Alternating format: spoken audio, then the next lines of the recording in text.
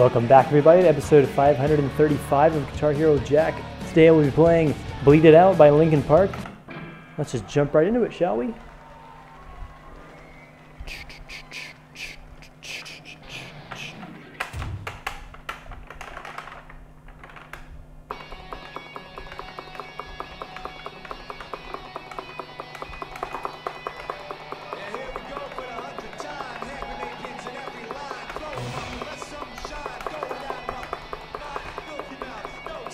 I looked at the uh, song list further down for this game, and it got me very excited.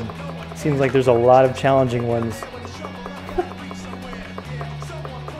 uh, another Dragon Force song, but it's not even the uh, last song on the game, so that's interesting. Um, what else was there? Oh yeah, an entire section. A lot of live songs, but in, like an entire section dedicated to like a Rush song that I hadn't heard of. I think I think it's 2112 or something.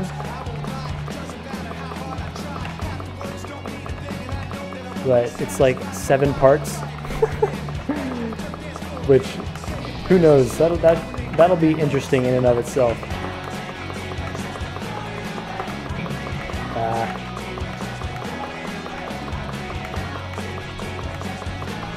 anyway, I just got to get past the the fluff at the beginning.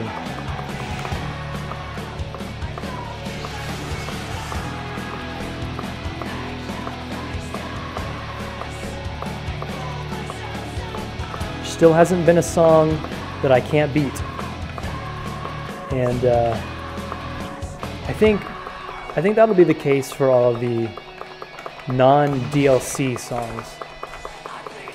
I think there will be like uh, in particular uh, the devil went down to Georgia where it's not a battle it's just you playing the entire song all the way through I think will, I don't think I will be able to beat that. I think that might be the hardest.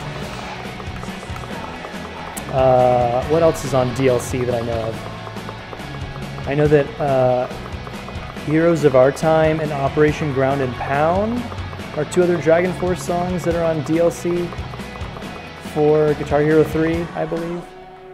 And uh,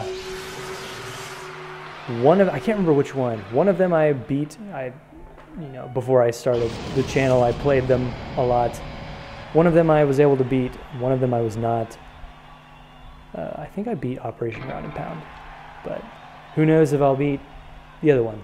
So, and I have to figure out what to do when that when the time comes when I can't beat a song. I thought I was gonna have to do it for Eruption and Spanish Fly, but thank God that didn't happen. So, uh, anyway, Thank you for watching. Don't forget to like, comment, subscribe, and all that jazz. And join us next time for Tick Tick Boom.